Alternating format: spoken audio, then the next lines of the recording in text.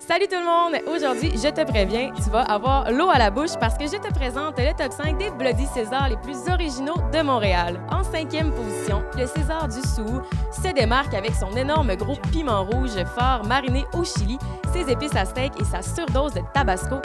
Tu vas passer une soirée des plus explosives. En quatrième position, le Bloody César de la Champagnerie, qui oui, la Champagnerie se démarque pour ses champagnes, mais surtout pour son César qui est tout à fait délicieux. Alors, c'est ta chance de mettre ta petite robe noire préférée et d'aller te gâter un César, l'un des meilleurs en ville. En troisième position, le Bloody César de l'entrepôt Mont-Royal, parce qu'il a gagné la première position au Québec et la deuxième position au Canada de la compétition Best César Town.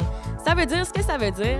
Puis en plus, à l'entrepôt Mont-Royal, tous les plats sont à 4,95 puis l'ambiance est tellement good vibe que c'est sûr que ça va devenir ton restaurant préféré tous les soirs de la semaine.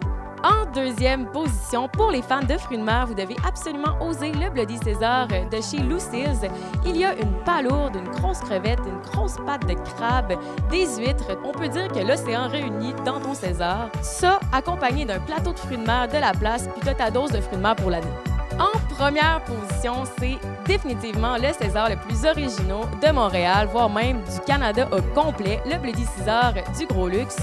Avec ses mille et une garnitures, tu peux soit créer ton propre César ou te gâter le gros César du luxe qui comprend un mini burger, un grilled cheese, des ailes de poulet, des rondelles d'oignon, un quesadillas, un rouleau de printemps et un gros piment fort. Juste ça dans ton César. Il faut rendre à César ce qui appartient à César. Et maintenant, toi, tu sais où te procurer l'un des cinq meilleurs plats des Césars de Montréal.